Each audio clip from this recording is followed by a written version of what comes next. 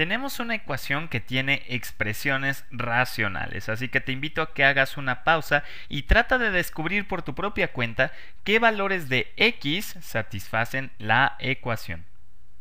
Muy bien, hagámoslo todos juntos. Lo primero que me gustaría ver es si podemos simplificar la expresión, quizás, no sé, factorizando los numeradores y los denominadores, y luego ver si hay factores en común. Aunque bueno, solo vamos a poder simplificar el lado izquierdo, ¿verdad? Porque el lado derecho ya está más que simplificado. Entonces, veamos qué es lo que puede ocurrir con el numerador. Entonces, podríamos tratar de factorizar esto, es decir, buscar dos números que multiplicados nos den 21, pero sumados menos 10. Entonces, eso quizás puede ser 3 y 7, pero para que nos dé aquí negativo sería menos 7 y menos 3. Entonces, esto sería x menos 7 por x menos 3. Ahora bien, el denominador podríamos factorizar un 3, ¿verdad? Entonces tendríamos 3 que multiplica a x menos 4. ¿Verdad? Entonces, eh, por ejemplo, aquí lo que podemos ver es que eh, tenemos un, en el denominador tenemos factores x menos 4 en ambos, del lado izquierdo y del lado derecho. Entonces, quizás sí nos conviene sustituir esta expresión que teníamos por esta otra que acabamos de descubrir, ¿verdad? Sin embargo, aquí, por ejemplo, en el numerador tendremos x menos 7 y x menos 3 y pues yo creo que convendrá dejarlo simplemente como habíamos iniciado. Entonces vamos a eliminar esta factorización y eh, bueno, vamos a, ponerlo como lo teníamos. Muy bien, ahí, ahí está. Y ahora lo que vamos a hacer es multiplicar de ambos lados por x menos 4 para que se puedan cancelar estos factores. Entonces multiplicamos por x menos 4 del lado derecho y multiplicamos por x menos 4, vamos a multiplicar por x menos 4 también del lado izquierdo. Entonces, ¿qué es lo que pasa del lado izquierdo? Este factor se cancela con este otro y del lado derecho estos factores se cancelan, ¿verdad? Entonces, ahora podríamos reescribir esta expresión como x cuadrada menos 10x más 21 y esto va dividido entre 3, que es el único factor aquí que sobrevivió.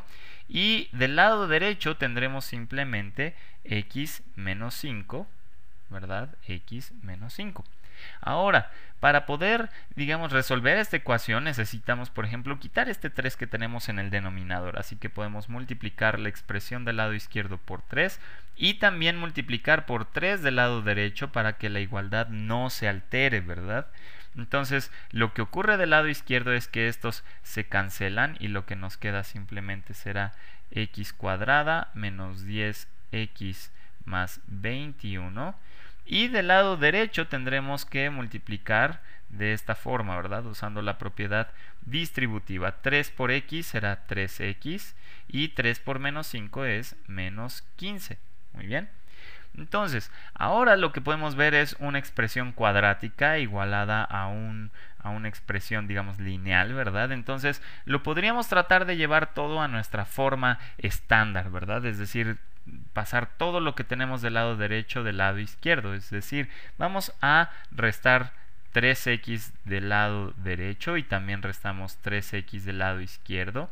Y para cancelar este 15 vamos a sumar 15 tanto del lado derecho como del lado izquierdo. ¿Y qué es lo que obtenemos? Bueno, del lado izquierdo vamos a tener x cuadrada menos 13x más 21 y 15 son 36 y esto del lado derecho obtendremos simplemente 0. Entonces ya tenemos una ecuación cuadrática, digamos en la forma estándar, ¿verdad? Y lo, lo, que trataremos de hacer es factorizar este polinomio cuadrático, ¿verdad? Para ver cuáles son las soluciones de esta ecuación. Entonces pensemos en dos números que multiplicados nos den 36, pero sumados nos den menos 13. Entonces podríamos pensar en 4 y 9, pero para que sumados nos dé un número negativo, ambos tendrían que ser negativos, ¿verdad? Entonces sería x menos 4 por x menos 9 igual a 0. Y ahora tenemos dos números que multiplicados nos dan 0. Quiere decir que el primer número es 0, es decir, x menos 4 es 0. o bien x menos 9 es 0. En el primer caso tendríamos que x es igual a 4, ¿verdad? Simplemente sumando 4 de ambos lados. Y en el segundo caso tendremos que x es igual a 9, sumando 9 de ambos casos. Entonces, estas son nuestras dos posibles soluciones a la ecuación original, ¿verdad? Y si regresamos a la ecuación original, teníamos esto acá, ¿verdad? Quizás valdría la pena anotarlo aquí, x es igual a 4 o x es igual a 9.